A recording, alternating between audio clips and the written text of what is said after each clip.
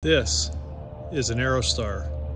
But which Aerostar is it? 600, 601, 601P, 602P, a myriad of 700s, and of course the Piper 700P. It has the shorter 72 inch square tip low noise props. All of the pressurized Aerostars have this little indentation here in the window. This particular aircraft is a 602P. This one has Lycoming TIO 540 U2As, 350 horsepower aside. Makes this an Aerostar Super 700. But wait, there's more. Six puck brakes. It has the 6,850 pound gross weight STC. The five and a half PSI differential cabin.